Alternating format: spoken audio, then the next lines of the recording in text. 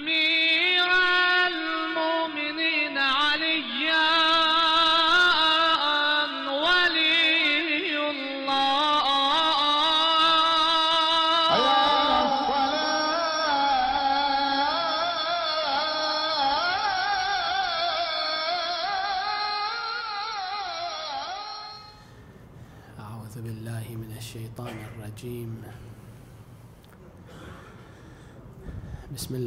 الرحمن الرحيم. الحمد لله رب العالمين. وصلى الله على سيدنا محمد وآله الطاهرين.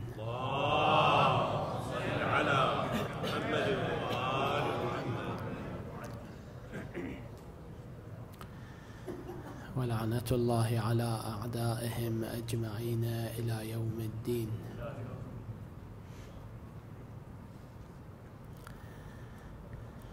قال الله الحكيم في محكم كتابه الكريم بسم الله الرحمن الرحيم. وقل اعملوا. صدق الله العلي العظيم.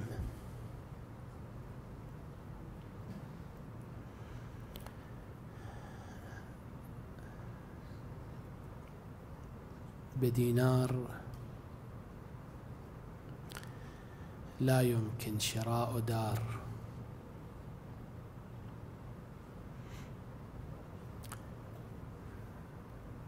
معادلة واضحة. الكل يفهمها.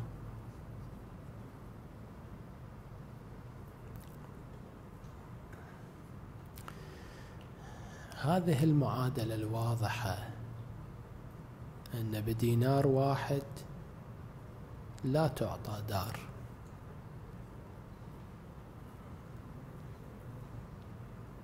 المفروض أن الكل يفهم هذه المعادلة معادلة واضحة.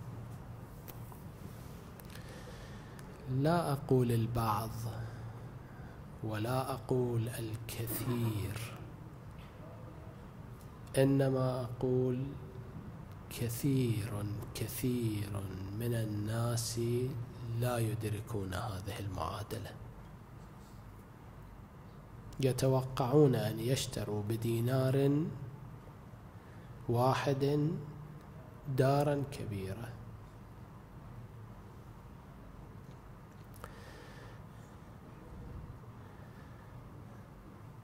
في الأمور المادية هذا الشيء نراه. الأطباء عندهم ابتلاء مع الناس في هذه القضية. إحدى ابتلاءات الأطباء مع الناس هذه القضية. المريض يأخذ دواء أعطاه الطبيب. يتوقع أنه في اليوم الثاني يطيب.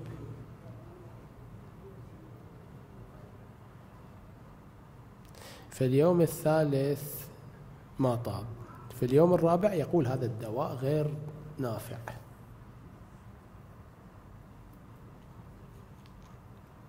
يعني يتوقع أن يشتري بدينار دارا.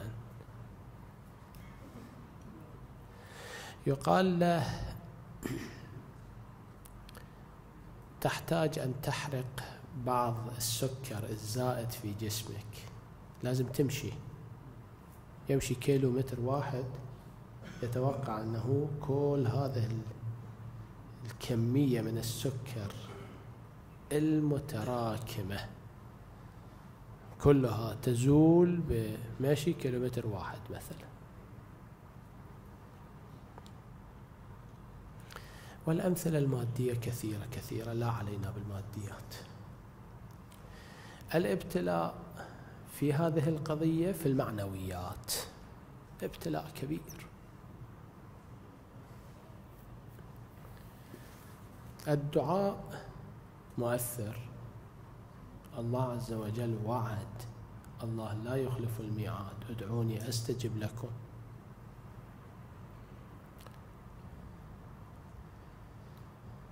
يقول دعوت ما استجيب لي. فإذا الدعاء غلط.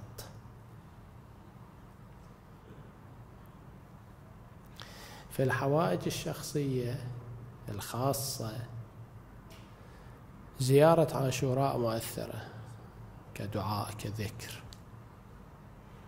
مع قطع النظر عن السعي. يقول أنا قرأت زيارة عاشوراء مرة مرتين ما أثرت. هذا بالضبط نفس ذاك الشخص الذي يريد أن يشتري بدينار دارا.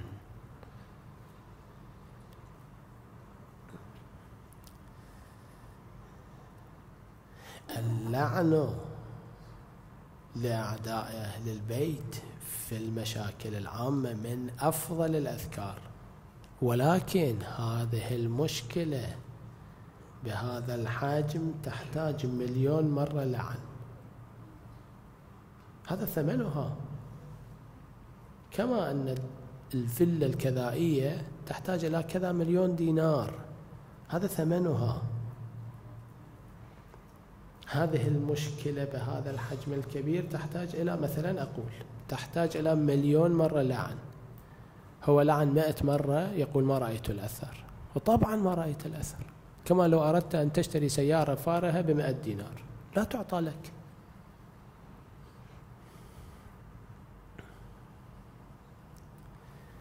هذه القضية الخاصة هذه الحاجة الشخصية الخاصة لك. تحتاج إلى مئة مرة زيارة عاشوراء. هو قرأ مرتين زيارة عاشوراء يقول ما رأيت الأثر. هذا لو كان العلاج صحيحا. أحيانا أصلا العلاج غير صحيح. شخص مبتلى بداء معينة يأخذ بنادول. بنادول مو مال هذا الدواء مال هذا الداء. لو كان العلاج صحيحا العلاج يحتاج إلى كمية يحتاج إلى قواعد. إذا العلاج ما كان يحتاج إلى قواعد لماذا نذهب إلى الأطباء؟ وأنا كنت آخذ العلاج خلاص. العلاج له حدود. الذي يعرف هذه الحدود هو الطبيب في الأمراض الجسمانية.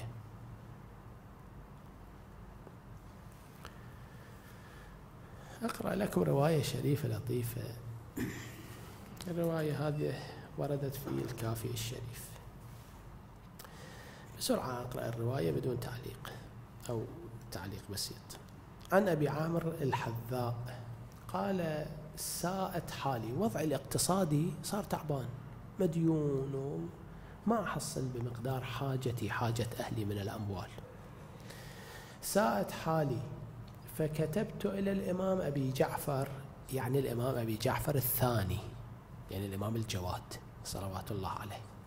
هو من أصحاب الإمام الجواد والهادي صلوات الله عليهم. فكتبت إلى الإمام أبي جعفر عليه الصلاة والسلام كتبت حالي وضعي هكذا. فكتب عليه الصلاة والسلام إلي أدم قراءة إنا أرسلنا نوحا إلى قومه سورة نوح. بداية سورة نوح بسم الله الرحمن الرحيم إنا أرسلنا إلى إنا أرسلنا نوحا إلى قومه. هذه بداية السورة. يعني أقرأ سورة سورة نوح. أدم قراءة إنا أرسلنا نوحا إلى قومه. قال أبو عمرو الحذاء فقرأتها حولا. سنة كاملة أنا أقرأ هذه السورة. فلم أرى شيئا. فكتبت إليه عليه الصلاة والسلام أخبره بسوء حالي وأني قد قرأت إنا أرسلنا نوحا إلى قومه حولا كما أمرتني. ولم أرى شيئا. شاهدي هنا. فكتب عليه الصلاة والسلام إلي قد وفى لك الحول. فانتقل منها إلى قراءة إنا أنزلناه. كنت تحتاج إلى سد أنا أقول مثلا تحتاج إلى سد ثغرة. سنة كاملة قرأت سورة نوح هذه الثغرة سدت. الآن انطلق بقراءة شيء ثاني هذا تحصل به. قد وفى العبارة جدا جميلة. قد وفى لك الحول. السنة اللي قريت ما راح أدر هذا كان يتجمع لك قد وفى لك الحول فانتقل منها من سورة نوح. إلى قراءة إنا أنزلناه. اقرأ سورة القدر. قال ففعلت فما كان إلا يسيرا حتى بعث إلي ابن أبي داود. ابن أبي داود شخصية كان. فقضى عني ديني وأجرى علي أعطاني راتب. وعلى عيالي ووجهني إلى البصرة في وكالته بباب كلاء. وأج... منطقة. وأجرى علي 500 درهم شهريا. وكتب وك... نعم. خلاص وضعه صار زين. بقية الرواية أيضا تتمة جميلة. يقول وكتبت من البصرة على يدي علي بن مهزيار إلى الإمام أبي الحسن. الإمام الهادي صلوات الله عليه. أني كنت سألت أباك عن كذا وكذا وشكوت إليه كذا وكذا وإني قد نلت الذي أحببته. وصلت. أبوك الإمام الجواد صلوات الله عليه وجهني. سنة كاملة أنا قرأت سورة نوح بعدين بدأت بقراءة سورة القدر وضعي يتعدل فأحببت أن تخبرني يا مولاي كيف أصنع في قراءة إنا أنزلناه؟ إلى أن يقول فوقع عليه الصلاة والسلام. الإمام أجابه برسالة وقرأت التوقيع لا تدع من القرآن قصيره وطويله. إذا أنت بدأت بشيء من القرآن لا تدعه. ويجزئك من قراءة إنا أنزلناه يومك وليلتك مئة مرة. أنت استمر على قراءة سورة القادر. باليوم والليلة مئة مرة مو شيء كثير. الشاهد هذا لازم يقرأ سنة كاملة سورة نوح. أنا أقول يسد الثغرة مثلا. ثغرة هناك في حياته هاي الثغرة لازم تسد. لما قرأ سد الثغرة تو علاج. أنت أول المشكلة اللي هذا العلاج ما يخلي هذه المشكلة ما تخلي العلاج يؤثر. أنت المشكلة حلها. ثم انطلق في العلاج. حتى هذا العلاج يكون مؤثرا. لعله يستفاد من الرواية الشريفة أن سورة القدر هي العلاج. بس هذه سورة نوح سد الثغرة لعله. إجمالا. الأمور المعنوية الدعاء وغير الدعاء. كلامنا ليس فقط عن الدعاء. الدعاء المشكلة أين مكان ثاني في الأعمال الصالحة. يقول أنا عملت العمل الصالح الفلاني ما رأيت أثرا.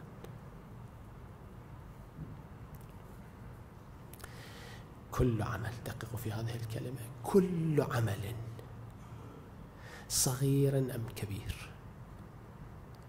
كل عمل صغير أم كبير. صالح أم طالح. كل عمل يؤثر الآن. الآن يؤثر. ولكن بمقدار حجمه. لا تتوقع أكثر من حجم الشيء. وإلا لا تعمل.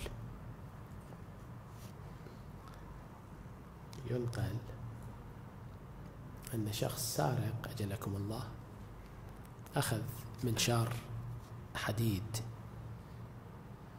ذهب في منتصف الليل صار ينشر حديد قفل لمحل حتى يسرق ما في المحل. فمر الرجل قال ماذا تفعل؟ قال أعزف. قال إذا كنت تعزف أنا لا أسمع صوت العزف. فقال له في الصباح ستسمع. ستسمع صوت العزف هو الآن يعزف الآن جاي يسوي شيء نعم في الصباح تسمع. تراكم يصير هذا القفل يقطع راح تسمع صوت العازف بس في الصباح. هو الآن جاي يأثر. كل مرة ينشر جاي يأثر. ولكن يأثر بمقداره. الشخص يتوقع أن عمله الصغير وهو صغير هو الشخص صغير وعمله صغير يتوقع أن يؤثر عمله عمل الكبار ويؤثر عمله الصغير الأعمال الكبيرة لا يمكن. توقعك غير صحيح. إذا كنت تريد أن تعيش بهذه الحالة بهذه النظرة ما كنت تتمكن أن تعيش في الدنيا. الدنيا لها ضوابط. الله عز وجل جعل ضوابط للدنيا توقع أن يكون عملك بمقدارك وبمقدار عملك. نرى طاغوت من الطغاة مرة واحدة يسقط. هذا مرة واحدة ما سقط. هذا طاغوت العراق البائد أمامنا. طاغوت مقتدر عنده علاقات مع دول كبرى تدعمه دول كبرى. هذا تتصور مرة واحدة سقط. غير ممكن أصلا يقال الطفرة مستحيلة. البعض ينكر استحالة الطفرة ولكنها لا تقع. لا يمكن أن تنتقل من مرحلة إلى مرحلة بعيدة بدون واسطة. طاغوت العراق في كل جريمة كان يرتكبها كان يسقط. ولكن هذا المنشار اللي في الصباح تسمع صوت العزف. هذا المنشار جال ينشر حكمه وقدراته. كل حركة تؤثر بمقدارها. هذا في السلبيات في الإيجابيات نفس الشيء. دم حبيب بن مظاهر سلام الله عليه ما أثر؟ قطعا أثر. ولكن دم حبيب بمقداره يؤثر. حبيب كان يدرك هذا الشيء. إذا كان حبيب يقول أنا دمي لا يؤثر شيئا كما قاله بعض الناس في ذاك الزمن. أنا أقتل أو لا أقتل؟ ما هي الفائدة؟ لا تتوقع أنت حبيب وحبيب لا يتوقع. أن يكون لدمك تأثير دم سيد الشهداء صلوات الله عليه. غير ممكن. دم سيد الشهداء يسقط على مر العصور طغاة. دم سيد الشهداء خلال أقل من ثلاث سنوات أسقط حكم معاوية الذي شيده معاوية سنوات. بكل جهده راح. دم سيد الشهداء غير. أتوقع أنا أن عملي يكون مثل عمل العظماء. فأقول لا عملي لا يؤثر. أنا لعني يؤثر؟ ما يؤثر لعني في حل مشكلة. نعم لعنك يؤثر ولكن بمقدارك في حل مشكلة عامة. زيارتك قراءة زيارة عاشوراء تؤثر ولكن بمقدار حجمك وبمقدار العمل. أنا أنذر أمير المؤمنين صلوات الله عليه أيضا نذر. أمير المؤمنين والصديق الكبرى والإمامان الحسن والحسين صلوات الله عليهم نذروا. نذري مثل نذرهم؟ نذرهم تقوم له, له, له السماوات والأرض. هم نذروا أنا أيضا نذرت. الصدمة أين تأتي عندما تتوقع شيئا كبيرا؟ بالضبط نفس نفس المثال. تتوقع أنك تشتري بدينار دارا فيلا. تصدم. الدينار تتمكن أن تشتري بها دارا ولكن بعد أن جمعت دينارا ثانيا وثالثا وعاشرا وعشرين صار مليون دينار تتمكن أن تشتري دارا. الدينار جاي يأثر ولكن بمقداره يؤثر. إذا نظرنا إلى القضايا بهذه النظرة نمشي بأقوى قوتنا.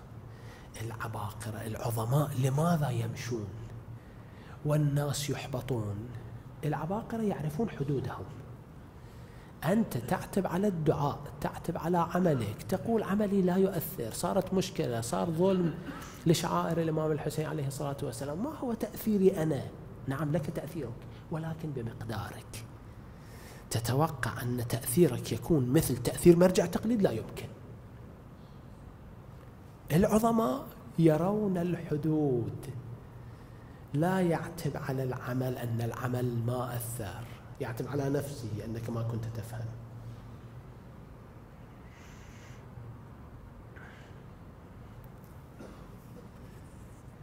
المشكلة مشكلة جهلي بالحدود.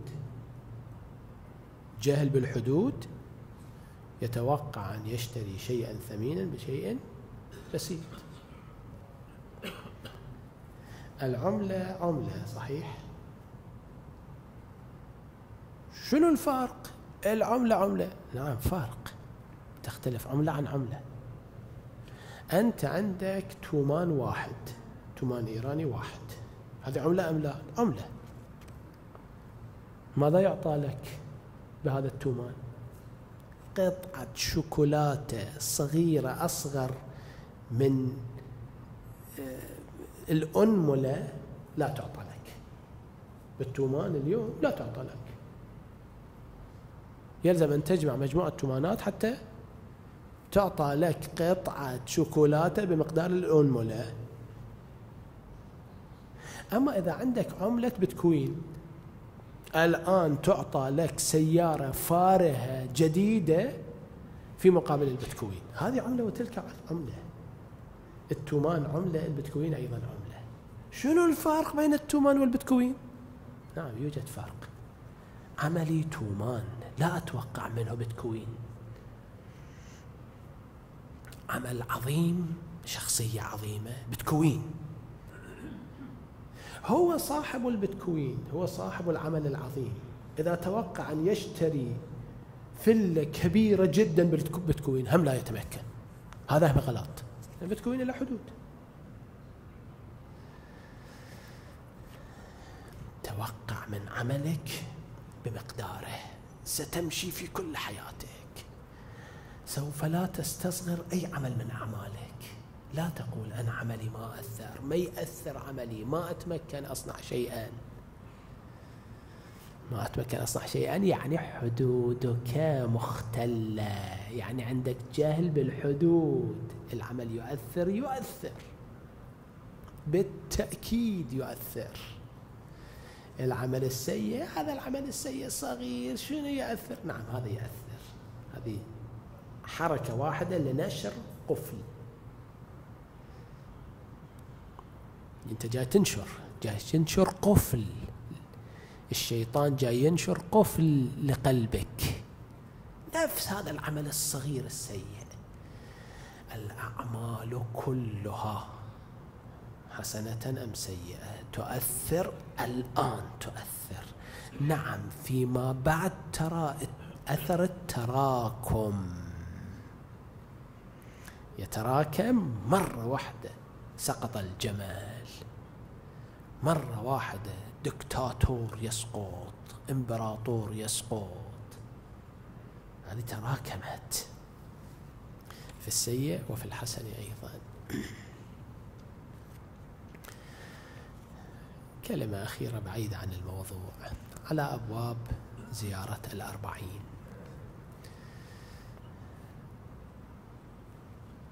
من حق زوار الحسين عليه الصلاة والسلام علينا. سواء كنا نحن من الزوار أو لم نكن من الزوار. من حق زوار الحسين عليه الصلاة والسلام علينا من حقهم الدعاء لهم. من الآن الإنسان يبدأ بالدعاء لزوار الإمام الحسين عليه الصلاة والسلام. أنا كان عندي اقتراح العام الماضي لعله أن نقرأ دعاء الإمام الصادق عليه الصلاة والسلام الذي دعا به في حال السجدة لزوار الحسين عليه الصلاة والسلام.